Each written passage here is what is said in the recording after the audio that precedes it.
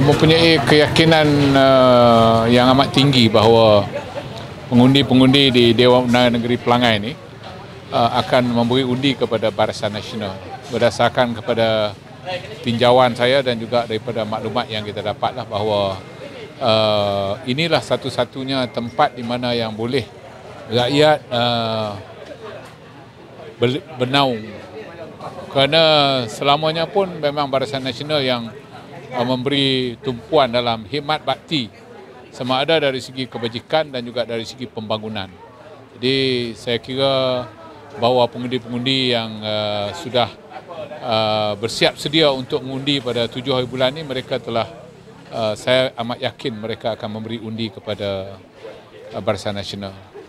Akhir sekali saya mengambil kesempatan ini untuk menyeru kepada seluruh pengundi dalam Dewan Undangan Negeri Pelangai dalam uh, negeri Pahang ni ataupun dalam uh, uh, Parlimen Bentong ni uh, Dun Pelangai ni agar dapat uh, balik dan uh, bersiap sedia untuk memberi undi kepada Barisan Nasional.